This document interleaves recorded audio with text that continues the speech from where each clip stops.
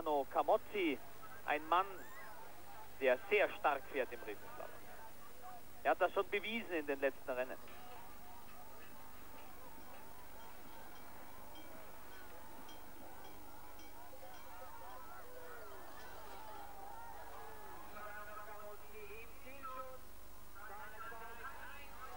Auch er hat unten eineinhalb Sekunden verloren und das spricht eigentlich für die These, dass da oben schon Steine herausgekommen sind.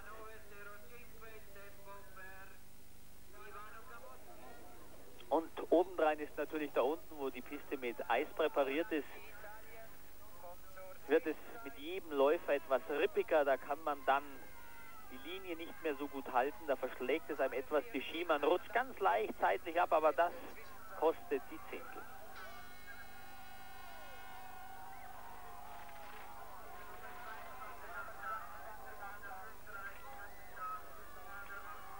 Marc Girardelli, der mit der Startnummer 3 ins Rennen ge gegangen ist, der konnte aufholen im unteren Streckenabschnitt. Aber das war einer der letzten. Die Läufer, die mit den höheren Startnummern hier über die Piste gegangen sind, die haben alle verloren im zweiten Streckenabschnitt. Und auch Tonazzi.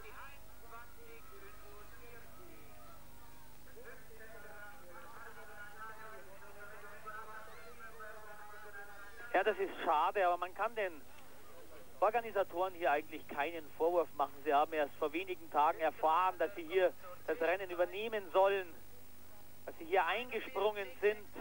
Und jetzt bin ich gespannt. Günther Mader. Eigentlich Slalom-Spezialist auch.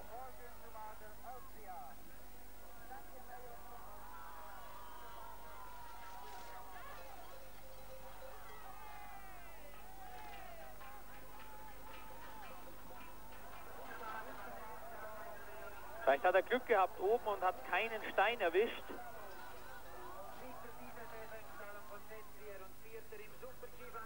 ...1,1834, sechster Rang für Günther Mader. Damit rutscht Markus Wasmeier im Moment auf Rang 8.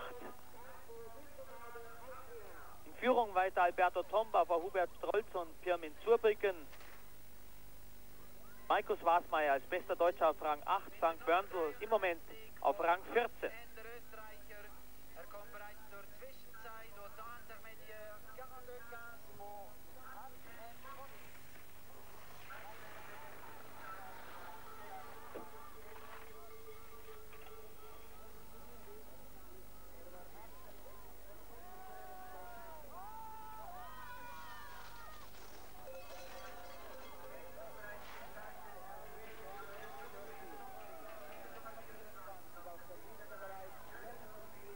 Hollala.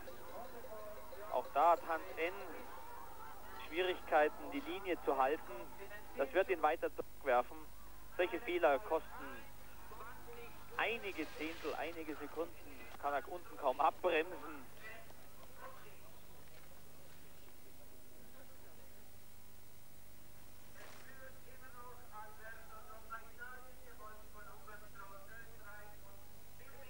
Sie sehen hier die 3 und 4.000er, die hier um Saas-Fee herum alle sich hoch aufrecken. Hier ist ja auch das Sommertrainingslager der Schweizer in Saas-Fee.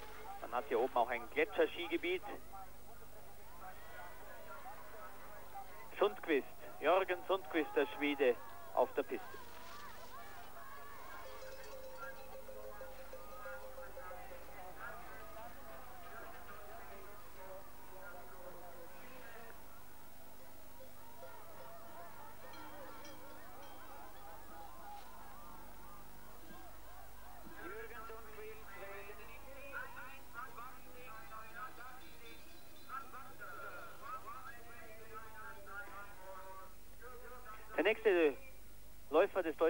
Skiverbandes kommt mit Startnummer 30, Peter Roth.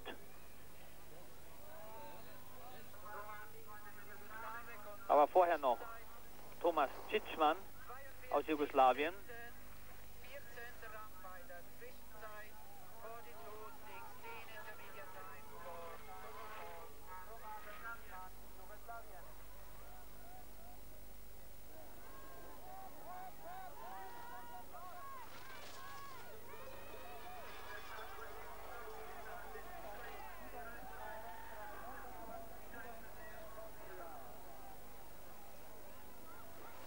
Jugoslawen modetechnisch gesehen mit einem sehr ausgefallenen Rennanzug.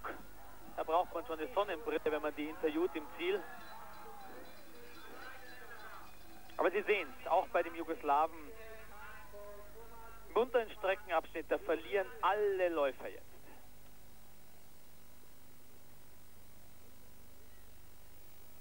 Das hängt einfach damit zusammen, dass die Schneeauflage sehr, sehr dünn ist.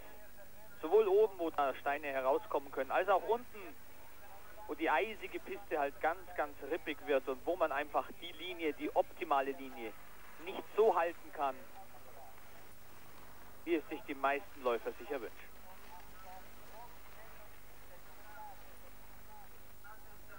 Guido Hinterseher, Super Riesenslalom-Spezialist der Österreicher,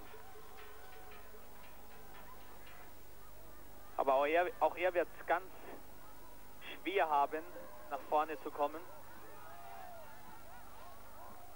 Und vor allem nach Calgary zu kommen, denn die Leistungsdichte gerade bei den Technikern in Österreich ist ungeheuer stark und mit dieser Leistung sicher überhaupt nicht. Die Schulkinder hier in Saas-Fee haben heute schulfrei bekommen, sind alle hier herausgekommen. Sie haben auch schon einen äh, Spruch kreiert und hier vor dem Rennen immer wieder lauthals getönt. Pirmin im Final, Tomba im Spital. Den Kindern ist noch nachzusehen, würde ich sagen, auch wenn es vielleicht nicht ganz fair ist. Aber Sie haben es ja gesehen, Alberto Tomba wird auch hier in der Schweiz gefeiert.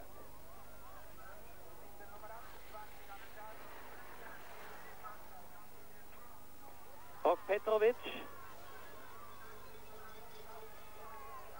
der überragende Slalomläufer vor drei Jahren, der andeutet, dass er wieder besser in Form kommt. Aber heute im Riesenslalom, da klappt es bei ihm nicht.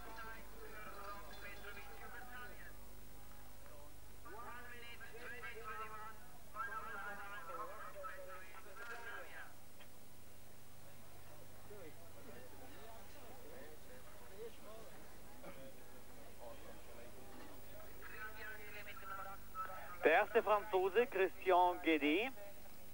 Die Franzosen ja in diesem Winter mit einem neu erstarkten Team. Nach jahrelanger Talsohle geht es langsam aufwärts, sowohl bei den Damen als auch bei den Herren.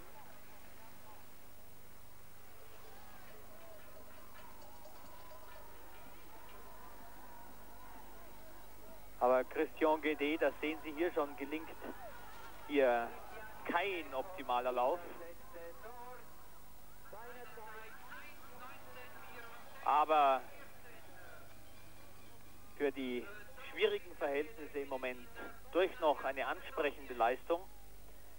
Und das wird auch sicher den nächsten beflügeln. Yves Tavernier, ein weiterer Franzose, der im Riesenslalom sogar noch stärker einzuschätzen ist als Gede, aber ich sehe, der ist ausgestiegen, denn auf der Anzeigetafel erscheint bereits Peter Roth aus Deutschland, der nächste Läufer. Das ist im Moment die Rangliste. Tomba führt mit fast einer Sekunde Vorsprung und der Sieg dürfte ihm kaum zu nehmen sein. Es ist unglaublich, was der Italiener im Moment hier im alpinen Skizirkus aufführt. Er demoralisiert seine Gegner eins ums andere Mal. Markus Wasmeier auf Rang 8 im Moment der beste Deutsche. Aber das ist durchaus eine gute Ausgangsposition für den zweiten Durchgang. Da kann er sich, wenn er gut fährt, noch ein paar Plätze nach vorne schieben. Frank Börndl im Moment 16. und Peter Roth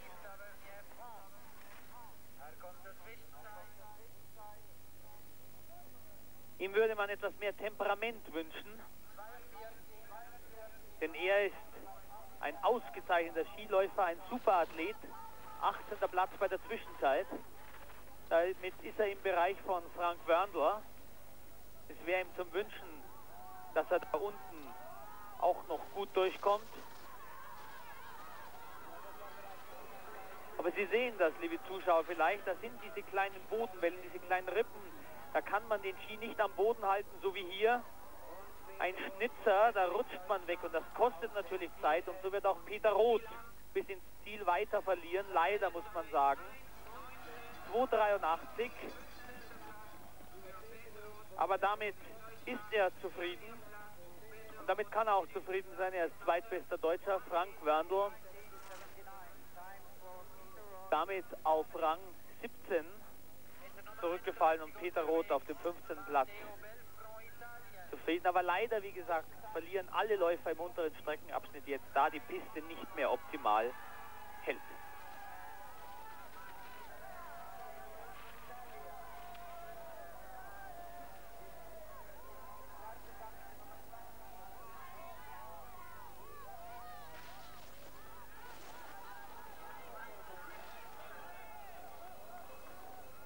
Der Italiener Matteo Belfront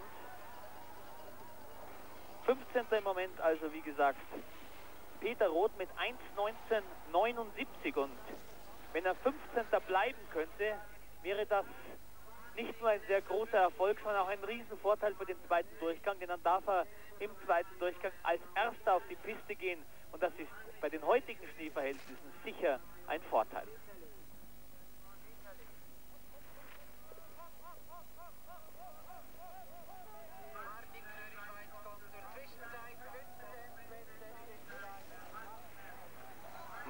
Knörre als 15. Bester bei der Zwischenzeit, hatte kurz danach Probleme, aber das dürfte nicht zu viel Zeit gekostet haben. Also jetzt ist der 15. Platz im Moment von Peter Roth in Gefahr, 1.19.79.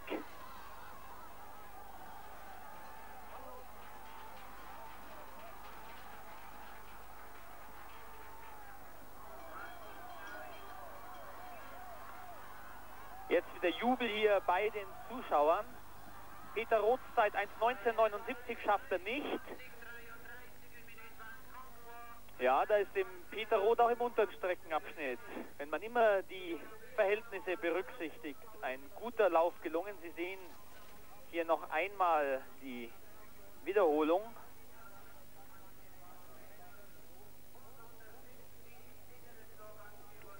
Ja, da war er auch zwei, dreimal etwas spät dran und da kommt man einfach nicht mehr in den Rhythmus. Aber Konrad Walk aus Österreich ist der Nächste, der jetzt den 15. Rang von Peter Roth gefährden kann.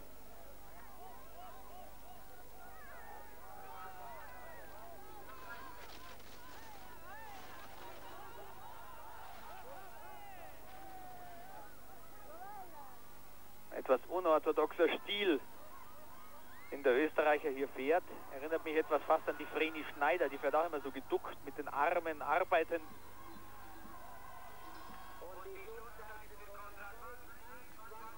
Gut gekämpft und trotzdem keine gute Zeit für den Österreicher.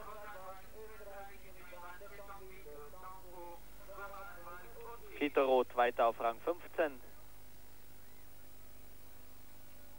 Felix McGrath ein weiterer ganz interessanter Mann, der allerdings heute im oberen Streckenabschnitt schon so viel Zeit eingebüßt hat, die er unten, und das haben wir gesehen, halt nicht mehr aufholen kann.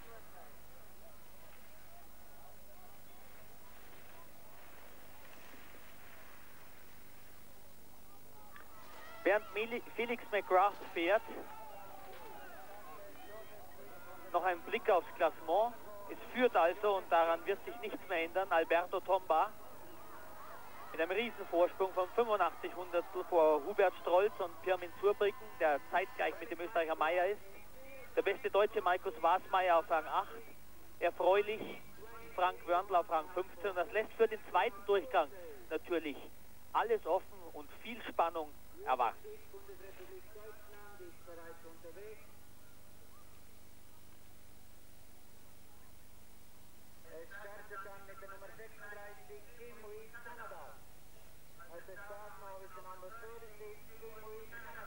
Sepsik ist der nächste Deutsche,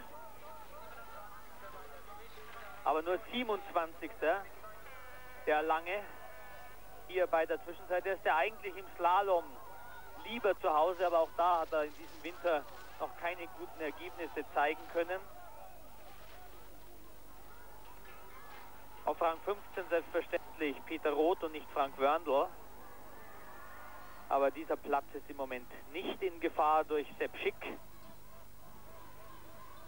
der sich hier herunterkämpft. Aber eine indiskutable Zeit für Sepp Schick.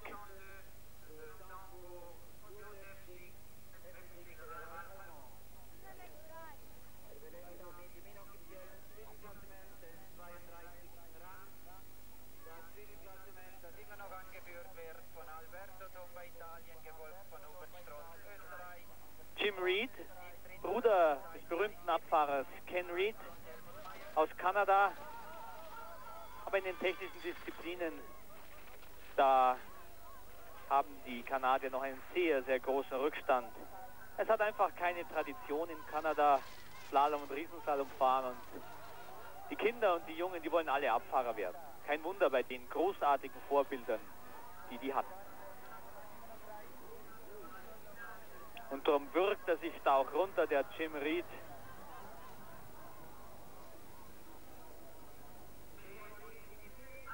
Jawohl, das wird die Deutschen freuen, denn Michael Eder und Josef Schick sind jetzt nicht mehr letzter. Jim Reed ist im Moment auf den letzten Platz gefahren. Aber es ist schon eher so etwas wie Galgenhumor, muss man sagen. Denn es ist einfach ein Trauerspiel, dass zwei der ganz großen und starken Fahrer aus dem Deutschen Skiverband, nämlich Hans Stuffer und Michael Eder, im Moment überhaupt nicht auf die Beine kommen.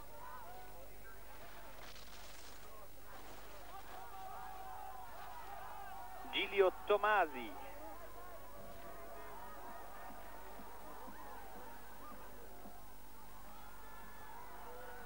Hops, da ist er draußen.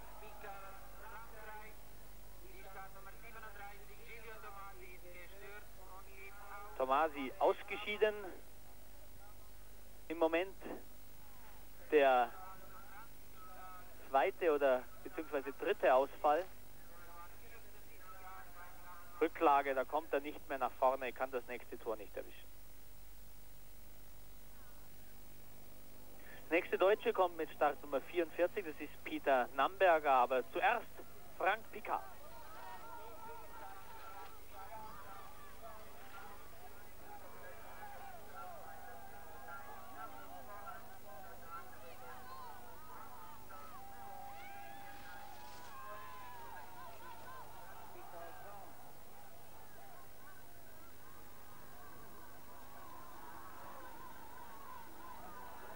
Hopsala, da fährt er mit einer Halskrause, mit einer unfreiwilligen, der Frank Picard, jetzt ist er halb blind. Sehr unglaublich, er wischt trotzdem noch die Tore. Das war ein bisschen zu viel für ihn. Da muss er selber lachen im Ziel, wenn er herunterschaut.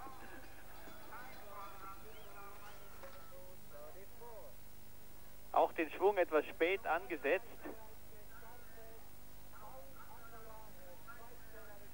Es ist überhaupt bewundernswert, dass er überhaupt weiterfährt. Der Schweizer Akkola. Aber jetzt der Rückstand schon sehr, sehr groß. Das lässt einfach ganz klar die Vermutung zu, dass jetzt die Piste im oberen Streckenabschnitt überhaupt nicht mehr hält. Kein einziger konnte jetzt mehr von den letzten Läufern überhaupt nur annähernd an die besten 20 heranfahren. Und das wird auch Paul Akola nicht gelingen. Und es sieht so aus, als würde Peter Roth seinen 15. Rang halten können. Was nicht nur, wie gesagt, erfreulich für ihn ist, sondern was ihm die gute Ausgangsposition für den zweiten Durchgang eröffnet, da dort mit der Startnummer 1 als erster ins Rennen gehen wird. Und im Moment führt als Alberto Tomba nach dem ersten Durchgang mit fast einer Sekunde vor Hubert Strolz und Firmin Zurbrücken zeitgleich mit dem Österreicher Helmut Meyer. Und wenn das Rennen natürlich zugunsten von Alberto Tomba steht im Moment, so gibt es zumindest dann um die weiteren Plätze doch einen harten Kampf, in den auch Markus Wasmeier als Achter noch eingreifen kann. Rotan 15., Frank Wörndl 17. Es wird also spannend werden für den zweiten Durchgang.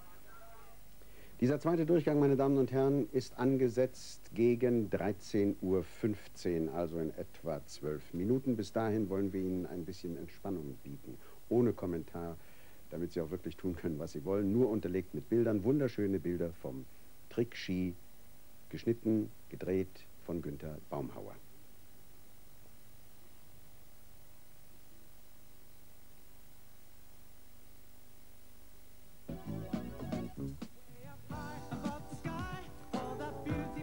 Ja, so waren die Tage im Trickski-Camp auf dem Schnalztalgletscher einfach wohltuend aufregend. Fassen wir noch einmal zusammen. Freestyle, Trickski-Fahren. Das ist Ballett, Springen und Buckelpiste fahren.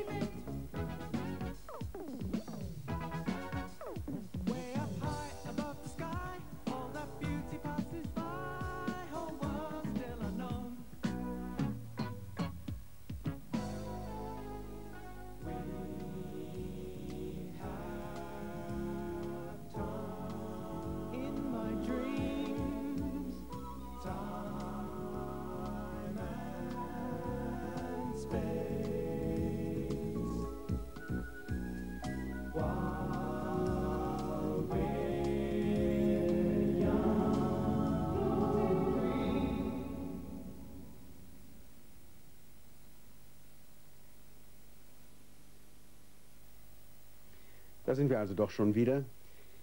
Live müssten wir normalerweise jetzt rübergehen zu den alpinen Skisportlern, wieder zum Weltcup, aber ich will Ihnen vorher erzählen, was wir in dieser Sendung noch alles machen wollen. Also, jetzt kommt direkt der zweite Durchgang, etwa in ein paar Minuten, vom Weltcup Riesenslalom der Herren in Saas-Fee. Dann haben wir vorbereitet zwei Zusammenfassungen vom Tennis in Melbourne, Einzel der Damen. Und zwar die Partien Steffi Graf gegen Hanna Mandlikowa, etwa in einer Länge von 18 Minuten. Dann Ausschnitte von dem Spiel Claudia Kode-Kilsch gegen Ann Minter, ungefähr 35 Minuten. Diese beiden Spiele haben wir ja heute Morgen seit 9.30 Uhr direkt übertragen. Wir haben natürlich auch noch aufgezeichnet während der Nacht das Spiel von Claudia Porwig gegen Chris Evert, gegen die Nummer 3 der Weltrangliste.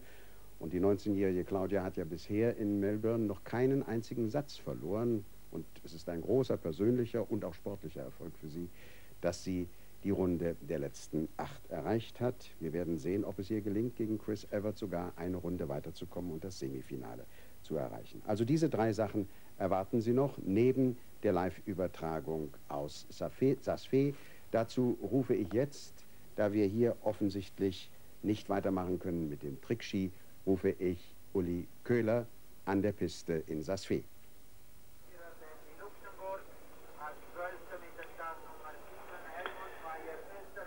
Ja, guten Tag, liebe Zuschauer.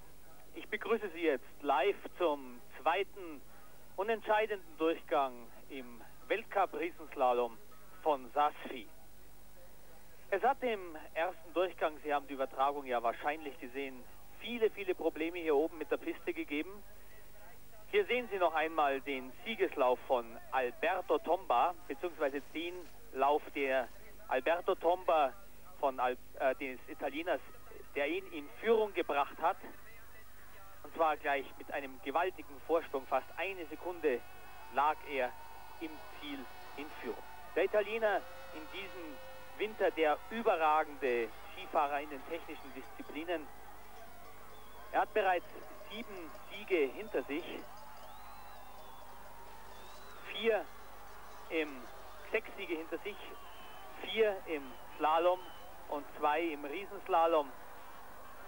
Und äh, der Mann ist so siegessicher, dass wenn nichts Größeres passiert und das ist eigentlich nicht zu erwarten. Er aus heute nicht zu schlagen sein wird, denn sein Vorsprung, wie gesagt, fast eine Sekunde im Ziel. Es gab große Probleme mit der Strecke deshalb, da dieses Rennen ja verlegt worden ist nach Saas-Fee, sehr kurzfristig, und die Organisatoren hier nicht die ganze Strecke präparieren konnten. Das ist der zweite nach dem Durchgang gewesen, Hubert Strolz. Dann Pirmin Zurbrücken liegt auf Rang 3 nach dem ersten Durchgang und zwar zeitgleich mit diesem Mann Helmut Meyer aus Österreich. Fünfter Marc Girardelli, der Luxemburger und sechster ein weiterer Österreicher, nämlich Günther Mader. Sie werden fragen, wo sind die besten Deutschen? Markus Wasmeier auf Rang Nummer 8. Ingemar Stenmark wurde, wie ich bereits angedeutet habe, im ersten Durchgang disqualifiziert. Deshalb ist Peter Roth 14. und Frank Wörndl 16. Die drei Läufer des Deutschen Skiverbandes haben sich für das Finale der besten 30 qualifiziert, das um 13.15 Uhr hier gestartet werden soll. Und vor allem Frank Wörndl hat es böse erwischt, denn er hatte die beste Startnummer im ersten Durchgang, das war die Startnummer 1. Bei dieser Piste, die von Läufer zu Läufer schlechter wurde, war dies sicher ein Vorteil, doch er hatte Pech. Nämlich im zweiten Tor lag ein riesengroßer Stein. Dort hat er sich die Kante von vorn bis hinten aufgerissen, sie wurde stumpf gemacht und als er dann oben aus dem weichen Teil, der nicht so gut präpariert werden konnte, weil einfach die Zeit so knapp hier für die Organisatoren herauskam, und in den unteren Bereich, wo gestern bereits der Damenslalom gestartet worden ist und der knüppelhart präpariert worden ist, als er da hineinkam, hatte er einfach große Probleme, den Ski zu halten. Hier sehen Sie Frank Picard, eine ganz lustige Geschichte ist da passiert im ersten Durchgang. Erst hat er hier die Halskrause, so eine Fahne um den Hals, dann versucht das wegzutun und fährt praktisch im Blindflug weiter. Aber es ist ihm nichts passiert, er ist nicht gestürzt, allerdings hat er sich nach diesem Missgeschick natürlich auch nicht qualifizieren können für den zweiten Durchgang. Ja, Frank Wörndl, also wie gesagt, ein großer Stein, sein Ski war kaputt, er konnte sich im Steilhang auf dem Eis kaum mehr halten und als er im Ziel war, war er natürlich stocksauer, denn er ist zurzeit in hervorragender Form. Mit Abstand der beste Riesenslalomfahrer im deutschen Skiverband, auch schneller als Markus Wasmeier. Das haben die Trainingsläufe einfach gezeigt. Und er hat sich viel vorgenommen jetzt für den zweiten Durchgang, aber ich habe seinen Ski gesehen, der ist total aufgerissen gewesen. Überhaupt ist es vielen hier so gegangen nach dem ersten Durchgang. Das war eine reine Materialschlacht da im Ziel. Da hat man einen ganzen Haufen voll völlig kaputter, aufgerissener Ski gesehen unten, weil einfach oben Steine drin lagen. Nach der Start Nummer drei, also schon nach drei Läufern, weil es war dem nachfolgenden Martin Hangel nicht besser gegangen, war dann das Rennen unterbrochen im ersten Durchgang und man hat den großen Stein im Tor Nummer zwei entfernt, herausgebuddelt. Das war Pech für Frank Wörndl. Vielleicht ein bisschen Glück für die anderen, aber es kamen weitere Steine heraus und es war ein reines Roulette-Spiel, wie er da einfach keinen Stein erwischt hat im ersten Durchgang. Der deutsche Trainer Rainer Gattermann war der, dermaßen erbost, dass er sogar gesagt hatte, man hätte hier eigentlich gar nicht starten dürfen, man hätte sich solidarisch zeigen müssen. Es hat sich angedeutet vor dem ersten Durchgang, die, das Rennen wurde um 15 Minuten verschoben, weil die Läufer einfach nicht einverstanden waren mit der Präparierung der Piste. Das hat es selten gegeben in einem Riesenslalom. Es musste noch umgesteckt werden. Aber wie gesagt, gleiche Verhältnisse waren kaum zu schaffen. Für den zweiten Durchgang, also wie gesagt, hat sich Frank Wörndl eine ganze Menge vorgenommen, aber sicher auch Markus Wasmeier, der ebenfalls nicht ungeschoren im ersten Durchgang heruntergekommen ist. Auch er hat einen kleinen Stein erwischt und äh, man darf gespannt sein, wie es jetzt im zweiten ausgeht. Es ist ja sieht man einmal von der überragenden Bestzeit von Alberto Tomba ab noch alles drinnen. Äh, Markus Wasmeier, der achtbeste des ersten Durchgangs, liegt etwas über eine halbe Sekunde hinter dem zweiten, hinter Hubert Strolz. Und so ist für den zweiten Durchgang durchaus noch für Spannung gesorgt. Und Frank Wörndl, der als 16. hier ins Rennen gehen wird, auch er hat sich, wie gesagt, vorgenommen, sich noch weiter nach vorne zu platzieren. Er war in den bisherigen drei Riesenslaloms jedes Mal unter den besten zehn. Und soeben höre ich, dass es erneut große Probleme mit der Piste gibt. Man arbeitet oben im Steillagen wie verrückt. ist. Auch dort schauen schon wieder große Steine heraus und die müssen jetzt entfernt werden. Das Problem ist nur, man will dann die Stellen vereisen und es ist mir ein Rätsel, wenn man das vereisen will, denn es ist hier einfach zu warm, als dass das alles noch gefrieren kann. Und so wird es auch jetzt eine weitere Verzögerung geben. Leider, liebe Zuschauer, muss ich Ihnen das mitteilen, auch mir wäre es lieber, wenn das jetzt mal gleich losgehen würde, aber es sieht einfach nicht danach aus.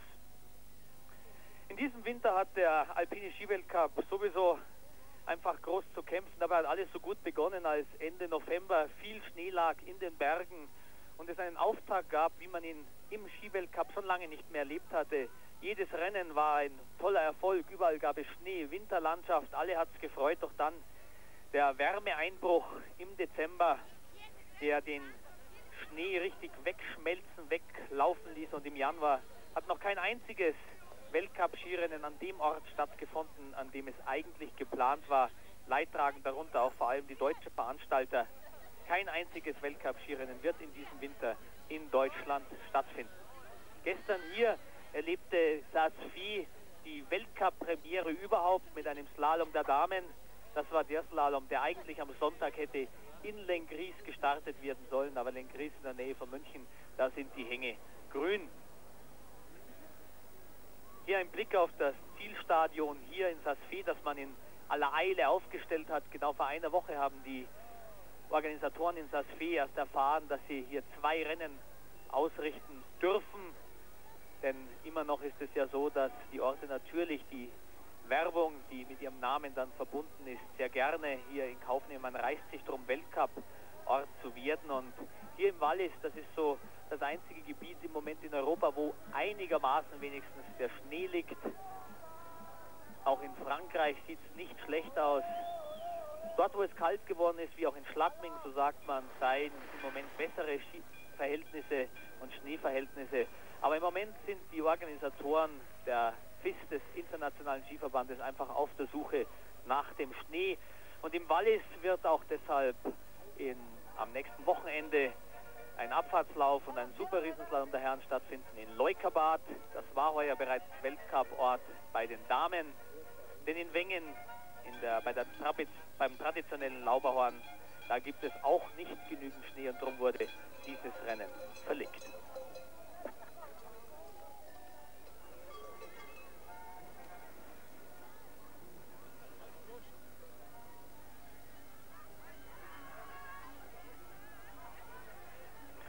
Firmen Zurbrücken hier natürlich der große Lokalmatador. Saas Almangel, das ist hier gleich um die Ecke nur ein paar Kilometer und da sind einige Fanclubs hier heraufgekommen, natürlich heute, um ihren Pirmin zu sehen.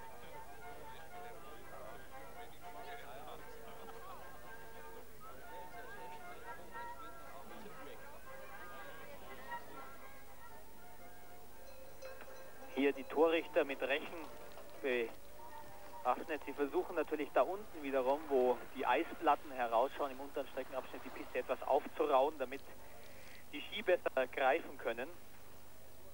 Aber das ist alles nicht so, wie man sich das vorstellt. Keine idealen Bedingungen. Wie gesagt, die Organisatoren können sicher nichts dafür hier. Es geht halt einfach im Moment nicht besser.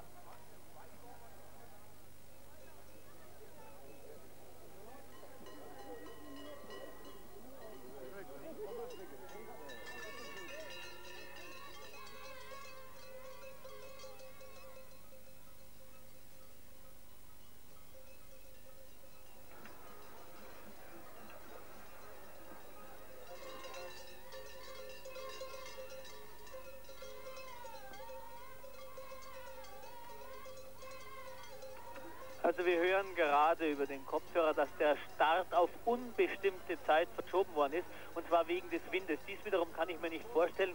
Der Wind hat nämlich schon im ersten Durchgang hier als Ausrede herhalten müssen dafür, dass die Piste im oberen Streckenteil einfach nicht in der richtigen Verfassung war. Es hat zwar sehr gewindet hier zwischen den beiden Durchgängen. Es war ein richtiger Sturm, ist aufgekommen, aber im Moment schaue ich hier heraus auf die Fahnen. Die hängen ziemlich schlapp hier herunter, so eine kleine Brise geht hier und kann mir nicht vorstellen, dass da oben ein sehr viel stärkerer Wind geht. Allerdings bin ich sicher, dass natürlich jetzt hier die Jury tagt und einige Trainer ganz und gar nicht äh, froh sind darüber, dass das hier so ein Roulette, ein Glücksspiel wird.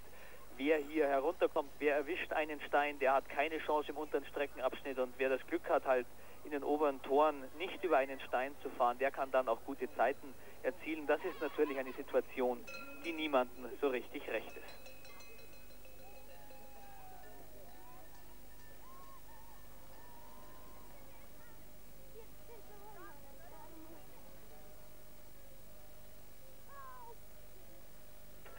Sieht man es, da bläst etwas Wind, aber beim Riesenslalom macht das eigentlich nicht so viel aus, dass das gleich eine Startverschiebung nach sich ziehen könnte.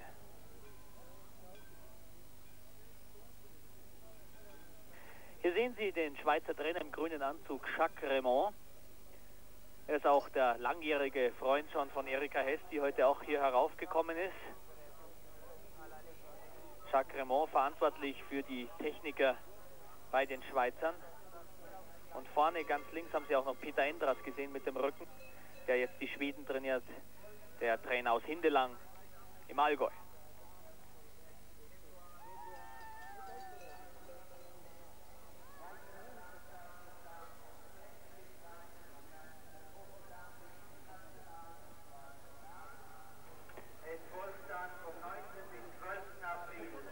Liebe Zuschauer, ich darf Ihnen vielleicht noch etwas über Alberto Tomba erzählen, den großen Star im diesjährigen Winter.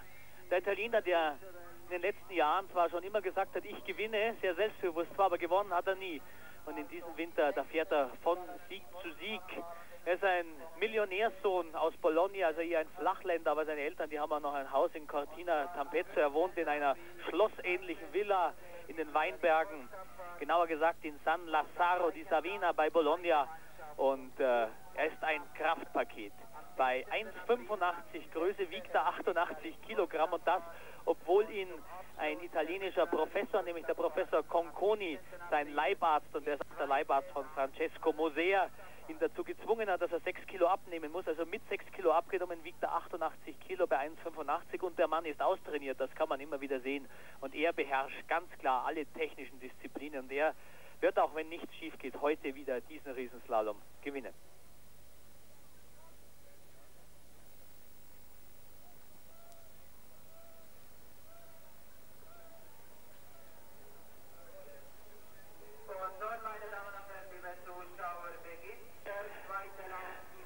Ja, liebe Zuschauer, und jetzt soll es losgehen. Ich höre den Platzlautsprecher, er sagt, das Rennen beginnt.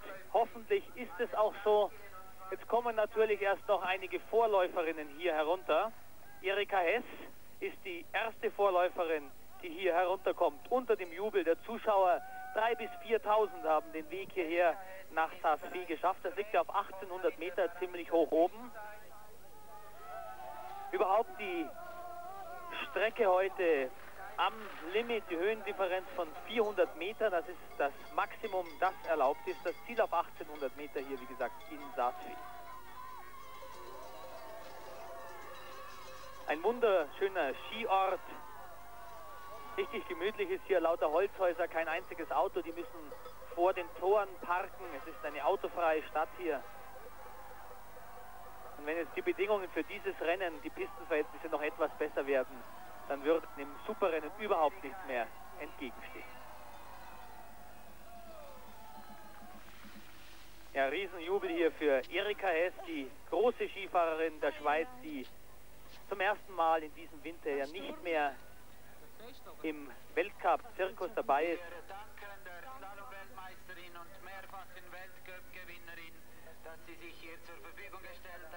Und die hierher gekommen ist, natürlich um noch einmal für die Zuschauer was zu tun, was zu zeigen. Sie ist ja zurückgetreten nach der letzten Weltmeisterschaft in.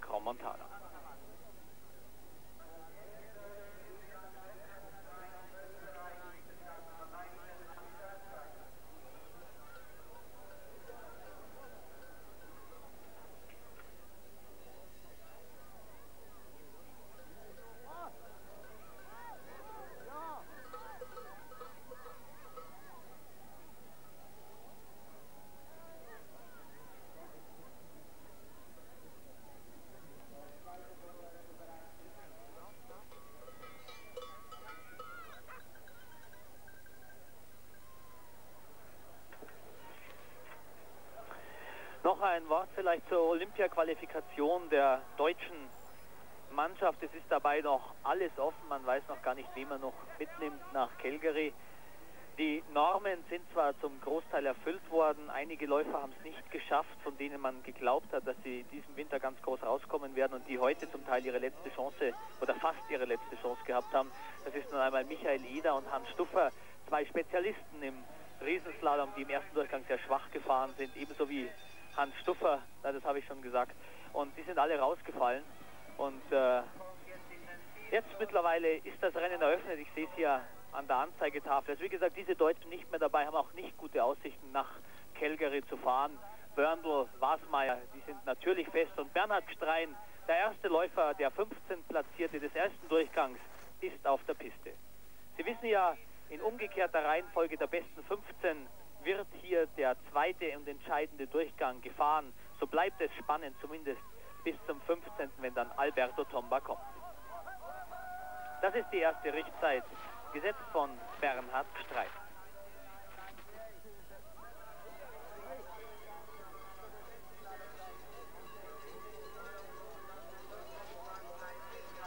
Der zweite Lauf von dem Italiener Pietro, Pietro Giovanna gesetzt sieht etwas runder aus als der erste des Österreichers Hans Pumm, den man ja auch noch geändert hat dann aufgrund des Protests der Läufer hin im ersten Durchgang. 1,1729.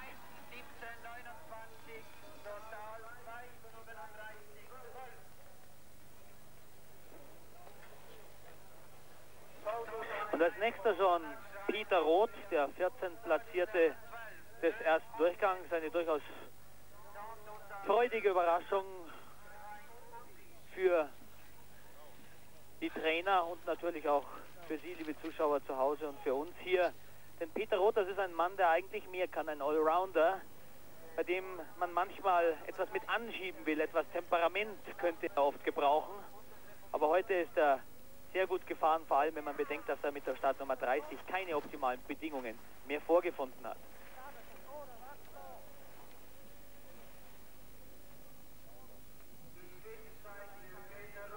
...35 Hundertstel hat er da auf Gstrein verloren. Und hoffentlich hat er oben keinen Stein erwischt, sodass er da unten die Linie einigermaßen halten kann. Schauen wir uns das mal an.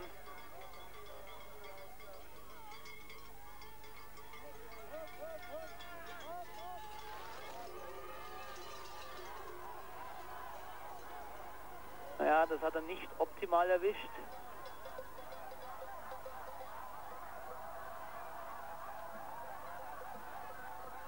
er bringt es nicht ganz so rund hin. Er muss oft nachdrücken beim Radius, ein 1771.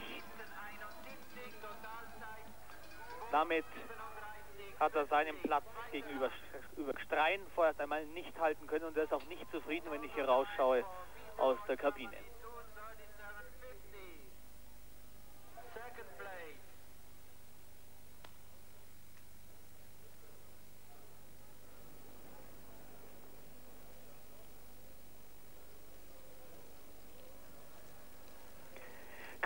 Christian Guédé ist der nächste Mann.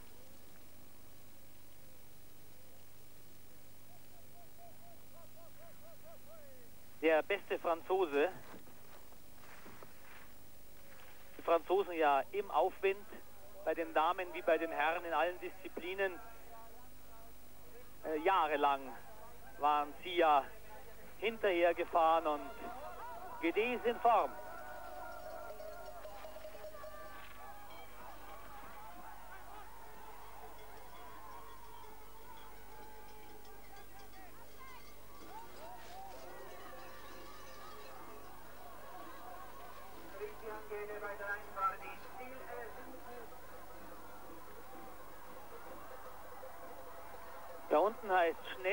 Wechseln. Da ist es doch recht, relativ eng gesteckt, da im letzten steilen Stück, bevor es hier in den etwas flacheren Schlusshang geht. Und er hält seinen Vorsprung von der Zwischenzeit bis ins Ziel. Spitzenreiter der Franzose im Moment, Christian Guedi, Bernhard Strein und Peter Roth.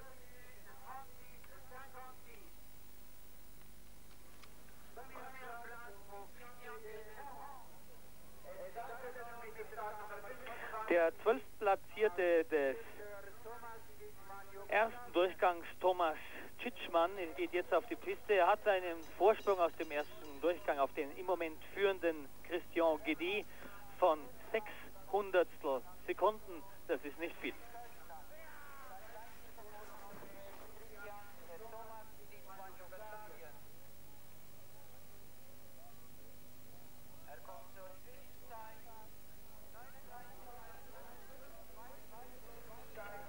Er seinen Vorsprung eingebüßt. Liegt jetzt 600 hinter GD zurück.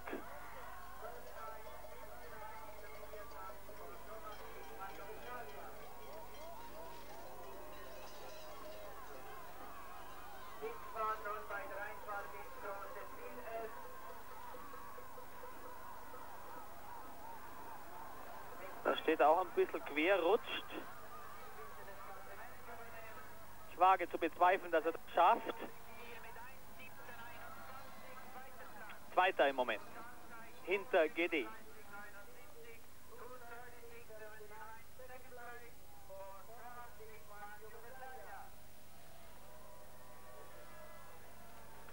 Ein ganz interessanter Mann kommt jetzt, nämlich Ivano Camozzi.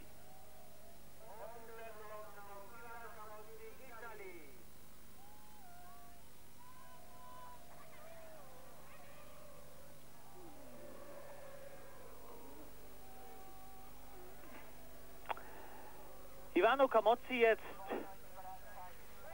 der Italiener, der in hervorragender, in bestechender Form ist, auf der Piste.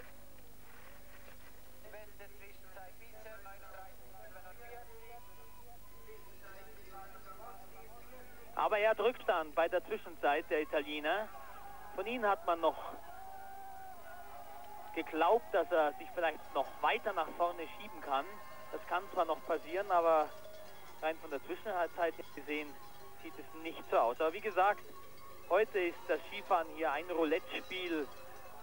Es kommt ganz darauf an, wie man den oberen, den weicheren Streckenabschnitt erwischt. Und Sie sehen es auch hier. Camozzi hat Probleme, die Linie zu halten, rutscht weg. Und so kann es durchaus sein, dass auch er oben bereits einen kleinen Stein erwischt hat. Und wenn die Kanten hier nicht mehr stark und hart gefeilt sind, dann hat man kaum eine Chance, ganz nach vorne zu fahren. Camozzi trotz seines Vorsprungs aus dem ersten Durchgang im Moment nur auf Rang 2 hinter Christian Gedi.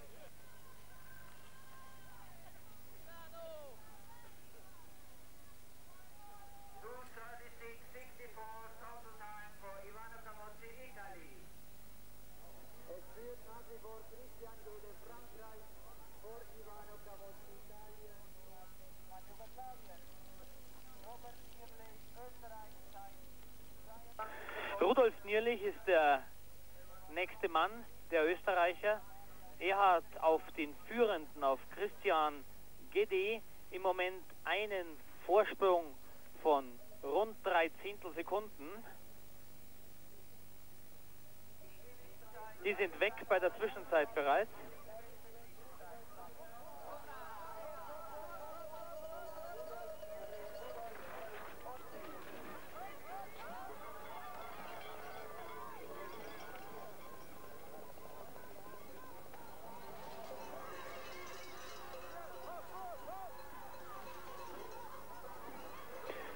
Weiten Weg gefahren. Da kommt er auf gar keinen Fall an die Führenden heran. Ja, der rutscht weg, kann die Linie überhaupt nicht halten, der Rudinierlich.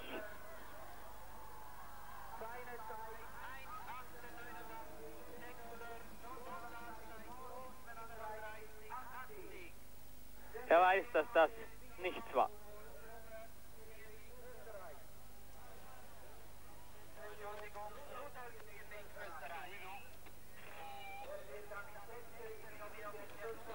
Peter Roth im Moment noch auf Rang 5. Rodinierlich ist hinter ihn zurückgefallen. Aber jetzt wird es natürlich ganz spannend. Die Zuschauer feuern ihren Mann an, nämlich Joel Gaspo. Joel Gaspo in diesem Jahr im Riesenslalom immer ganz vorne mit dabei war, zweimal bereits Dritter in diesem Winter aber er kommt nicht zur Zwischenzeit. Es sieht so aus, als wäre er ausgeschieden. Wir haben es nicht gesehen. Der obere Streckenteil ist ja leider nicht im Bild. Joel Gaspo aus dem Rennen. Der erste Fahrer jetzt im zweiten Durchgang, der ausgestiegen ist.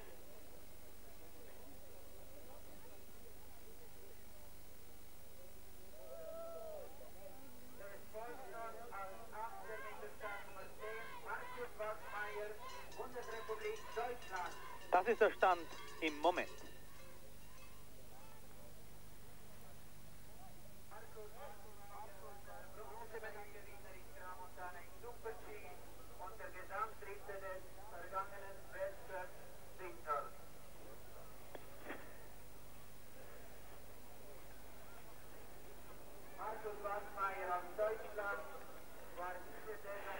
Ja, liebe Zuschauer, jetzt wird es interessant. Die besten acht gehen auf die Strecke und auf Rang 8 nach dem ersten Durchgang Markus Wasmeier.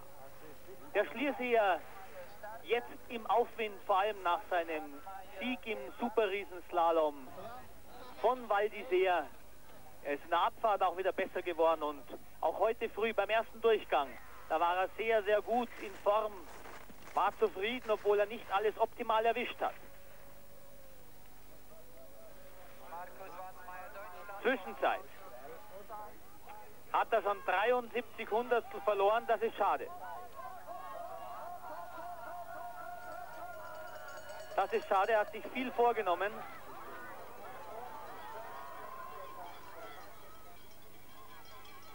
Damit liegt er in der Zeit etwas besser als Peter Roth. Oi, und da ist er raus. So gut wie raus. Na, er hat das Tor noch genommen. Aber Sie haben es gesehen, er hat den Schwung zu spät angesetzt, war zu weit hinten, ist nicht nach vorne gekommen. Ein schwerer Schnitzer von Markus Wasmeier. Leider muss man sagen, er kann sich damit auf keinen Fall verbessern. Im Moment auf Rang 4. Ja, er weiß es ja, er hat selbst mitgekriegt, so einen Fehler darf man sich nicht leisten in der Weltklasse. Damit Markus Wasmeier weiter zurückgefallen. Hier sehen wir es noch einmal, diesen Fehler.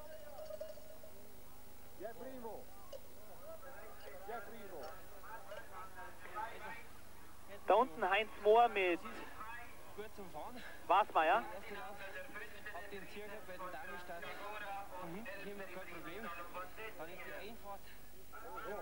Und Sie haben es vielleicht gehört, was Markus Wasmeier nach oben gefunkt hat. Da steht ja noch Frank Wörndl, der 16. Beste des ersten Durchgangs. Es geht gut zu fahren, hat er gesagt, aber beim Damenstart, da muss man aufpassen. Das ist die Stelle, wo man vom Weichen aufs Eis kommt. Und auch Martin Hangel schon bereits mit großem Rückstand und das lässt jetzt doch wieder die Vermutung zu, dass die Läufer einfach mit den höheren Startnummern und die, die jetzt erst ins Rennen gehen, einen Nachteil haben. Aber wie wahr dies wirklich ist, wird sich dann zeigen, spätestens bei Alberto Tomba, der im Moment so gut in Form ist, dass es ihm eigentlich völlig egal ist, was er für Piste hat. Manchmal hat man das Gefühl, er könnte auf Gras auch runterfahren und er wäre immer noch der Schnellste. Aber jetzt erst Martin Hangel.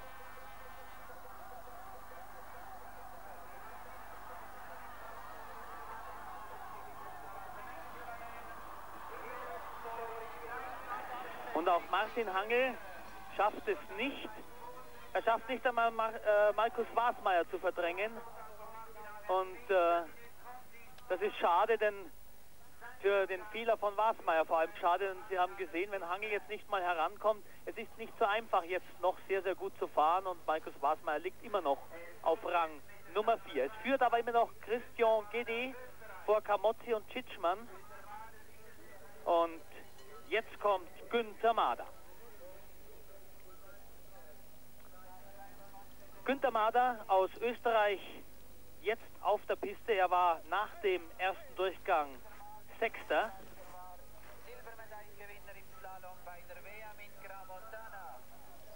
Er hat einen Vorsprung auf Christian Guédet von 8 Zehntelsekunden. Das heißt, er hat noch drei Zehntel ungefähr gut, um in Führung zu gehen.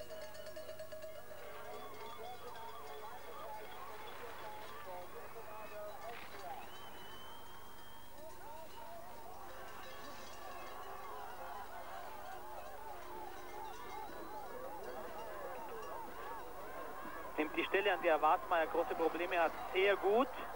Der Günther Mader 1,18,22 muss er fahren, um in Führung zu gehen und das dürfte er leicht schaffen.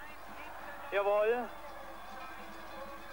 Günther Mader in Führung.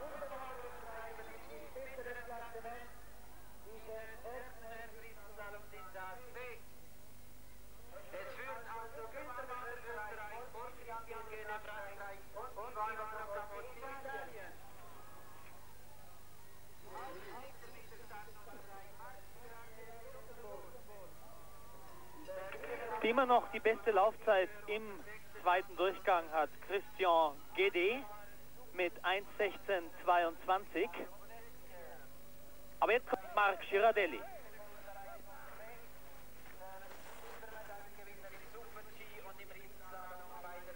Marc Girardelli, der sich in den technischen Disziplinen verbessert hat wieder. Das war ja lange Zeit seine große Stärke. Bei der Zwischenzeit allerdings schon fast eine Sekunde Rückstand. Und auch da ist er einen ziemlich weiten Weg gefahren, ist sehr spät dran bei den Toren. Und äh, wenn man da einmal aus dem Rhythmus ist, ist es ganz schwierig, wieder hereinzukommen. Jetzt bin ich gespannt, ob er da unten noch etwas forcieren kann. Das sieht sehr ruppig aus, was der Marc Girardelli da macht. 1.17.10 muss er fahren, um die Spitze zu schaffen. Das schafft er nicht. Zweiter Rang.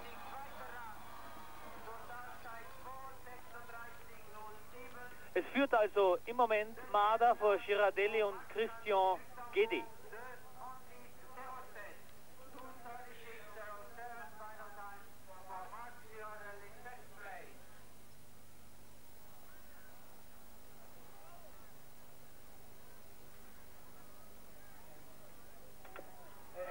Meter 14, da sehen Sie gerade Joel Gaspo, wie er hier den Hang heruntergeschwungen ist. Der ist ja ganz oben bereits nach dem Start ausgestiegen.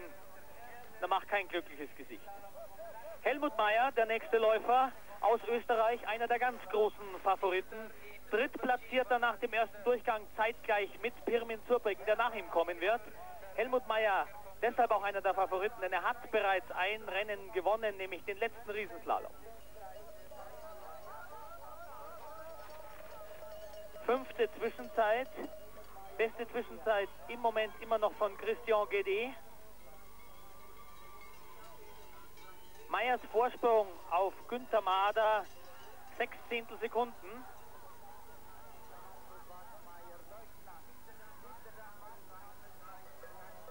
Ja, es ist schwierig. Es ist für alle Läufer schwierig. Sie sehen das bei Meyer hier einen optimalen Lauf hinzusetzen. Die Piste ist doch sehr, sehr ramponiert und er schafft es nicht. Er schafft es nicht, Günther Mader zu überholen, aber zwei Österreicher, beziehungsweise fast drei Österreicher jetzt in Führung. Mader vor Meyer und Marc Girardelli, der ja für Luxemburg startet, Luxemburger ist, obwohl er in Lustenau in Österreich lebt.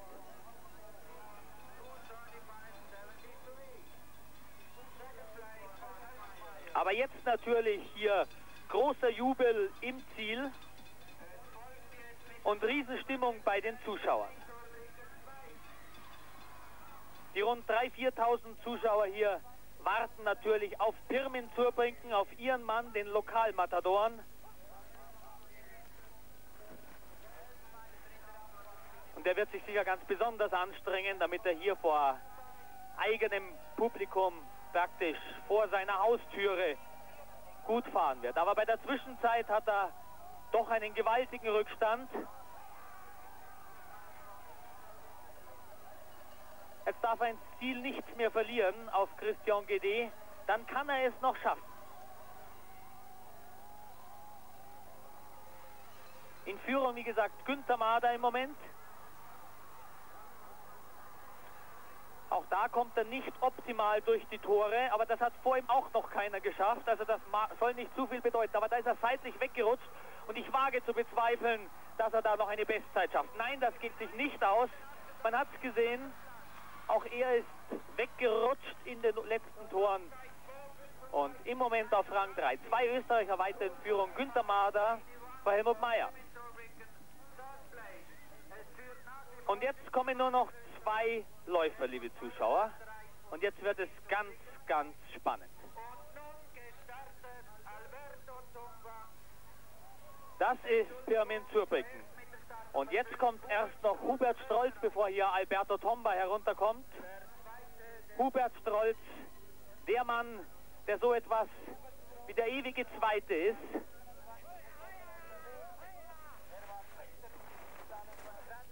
Das gleiche etwa wie Brigitte Oertli, die auch ewig Zweite war, bis sie gestern ihren ersten Weltcupsieg nach sechs Jahren im Weltcup feiern konnte.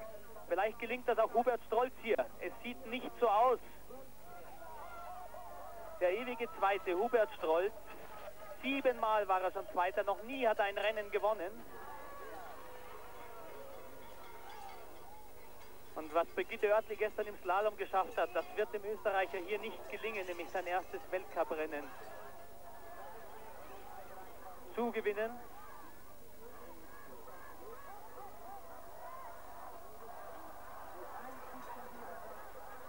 1,1754, das scheint eine Fabelzeit für Strolz zu sein. Das schafft er nie und nimmer. Fällt auf Rang 4 zurück, damit in Führung Marder, Meier, dritter Zurbrücken und jetzt wird es ernst.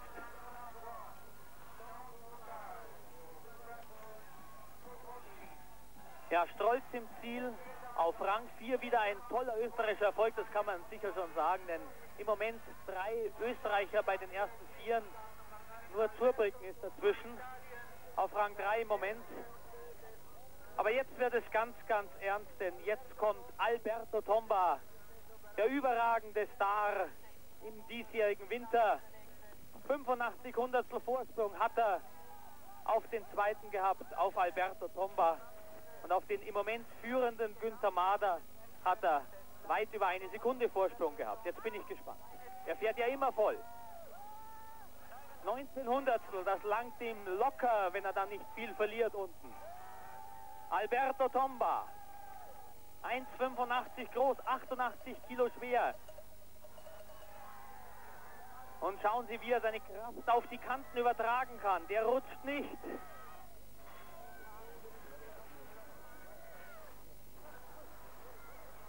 Ja, das ist überhaupt keine Frage, so wie der hier herunterfährt. Wenn er jetzt da die letzten Tore noch einigermaßen gut nimmt, dann wird er überlegener Sieger hier in Saasfee. Jawohl, ganz leicht, fast zwei Sekunden Vorsprung. Alberto Tomba, der Superstar des Skizirkus in diesem Winter. Der Millionärssohn aus Bologna gewinnt sein siebtes Weltcuprennen. Einmal ist er ausgeschieden.